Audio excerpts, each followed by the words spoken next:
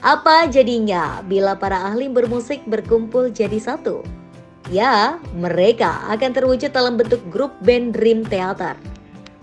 Dream Theater diisi para pemusik terbaik di posisinya. Dream Theater adalah grup progresif metal asal Amerika Serikat yang terbentuk pada tahun 1985 dengan nama Majesty. Didirikan oleh John Petrucci, John Young, dan Mike Portnoy saat mereka belajar di Berklee College of Music di Boston, Massachusetts. Mereka kemudian keluar dari kuliah untuk berkonsentrasi lebih pada band yang akhirnya akan menjadi Dream Theater. Meskipun telah terjadi beberapa kali perubahan line up, tiga anggota asli tetap bersama-sama dengan James Labrie dan Jordan Rades sampai 8 September 2010 ketika Mike Portnoy meninggalkan band. Pada bulan Oktober 2010, band ini mengadakan audisi drummer untuk menggantikan Portnoy. Mike McGinney diumumkan sebagai drummer baru pada tanggal 29 April 2011 setelah menyisikan 6 drummer kelas dunia.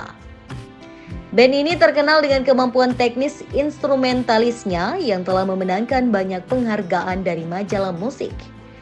Gitaris John Petrucci dinobatkan sebagai pemain ketiga tour G3 enam kali, lebih banyak dari pemain lain yang diundang. Pada tahun 2009, ia dinobatkan sebagai gitaris metal terbaik nomor 2 oleh Joel Mesliver dalam bukunya Greatest Metal Guitarist. Dia juga terpilih sebagai salah satu dari top 10 fastest strider of all time oleh majalah Guitar One. Jordan Rades dianggap salah satu pemain keyboard yang terbesar sepanjang masa oleh banyak kalangan seperti musik radar. Mantan drummer Mike Portnoy telah memenangkan 26 penghargaan dari majalah Modern Drummer dan juga orang termuda kedua pada usia 37 yang dilantik ke dalam Rock Drummer Hall of Fame.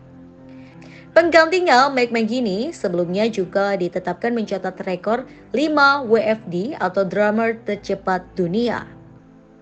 John Myung terpilih sebagai bassist terbesar sepanjang masa dalam sebuah jajak pendapat yang dilakukan oleh Musik Radar pada bulan Agustus hingga September 2010.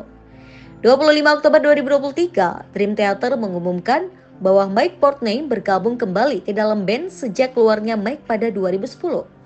Mereka akan meneruskan kembali dengan membuat album ke-16 yang akan segera dikerjakan.